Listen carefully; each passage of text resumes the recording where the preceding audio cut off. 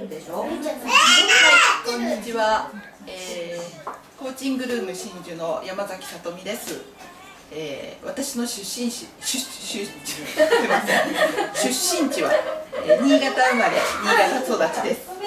えー、好きな食べ物は白いご飯。白いご飯があればいつも幸せです。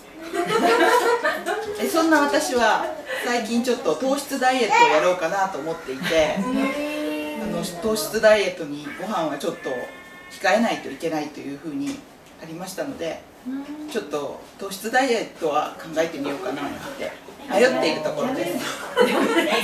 えと私はコーチングルーム真珠ということで、えー、たくさんの女性に素晴らしい人生を歩んでほしいなって思っていて、えー、そうですね。親子関係母娘関係子育て、うん、それからモチベーションアップ目標設定などさまざまな、えー、カテゴリーでコーチング、えー、コーチとして皆さんの お役に立ちたいと思って活動しています。趣味は、えー、すみません。えっとここにあのこういうものがあります。これ夢地図って言うんですけど、えー、私の夢地図です。えー、と先日作ったんですが、あの自分なりにいろんな日本一になりたいなと思っています。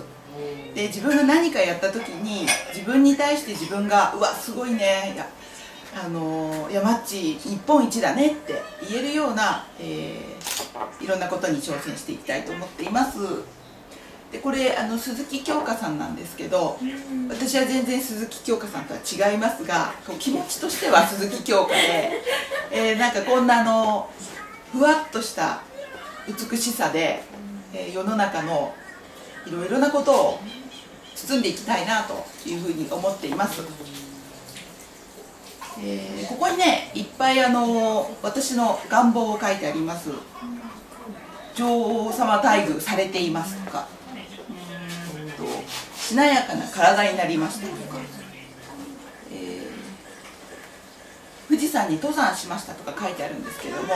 えー、私の今抱えている願望がすでに叶ったということで、えー、叶っているぞという夢地図を作ってみました、えー、私ワークショップなどでこういう夢地図を作るお手伝いもさせていただいていますので、え、よろしくお願いいたします、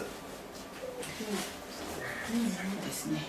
趣味。趣味は手作りのものをいろいろ作ることが好きです。これもそうなんですけど自分の思っているものを形に表すっていう創作活動が好きなんですけども、えー、その一環としていろいろなあのリフォームもやっています。で私が、えー、この日だまり祭りで、えー、皆さんに提案できるものとして、カードリーディングっていうのをやりたいと思っています。こういうあの可愛いイラストの書いてあるセルフセラピーカードというものを使って、えー、本当の自分の声を聞き望む未来を作るセルフセラピーカードによるポイントセッションというものをやりたいと思っています。さて、えー、何か質問はありますでしょうか、はい、山っちいつも思ってたんですけど、はい、その手元にある、はい、そのなめノートが入ってるやつそれってすごい可愛いんですけどそれはどうしたんですか？これも私の手作りなんです、うん、えー、すごーい。ございますこれあの前私が着ていたあのリネンのシャツなシャツドレスだったんですけどちょっとあの私が成長して、あのちっちゃくなったので、なんか新しい新しい道を見つけてあげたいなと思って。何えっとこういう、えーと、これはあのセルフセラピーカードの、えー、テキストブックなんですけどこのテキストと48枚あるこのカードを一度に片付けておけるブックカバーがあったら嬉しいなっていうふうにあの妄想してなんかこう思ったことを、えーと、形にするのが好きなのでとあのこういうふうにブックカバーにしてここにポケットをつけたらすごくあの仕事がやりやすいし。やこういうお気に入りのものをそばに置くとなんとなくこう自分の力になれるっていうふうに思うのでこういうのを作ってみます。すごい素敵かわいい。かわいい。ありがとうございます。すごいね。今日山地はすごいいろんなものを作り出すのが好きで、でそういう山地を今日もうつながりがないかもしれないけど、あの綺麗にあのお化粧をさらにしてくれたあの陽子さんが今そばにいるので、陽子さんよかったら。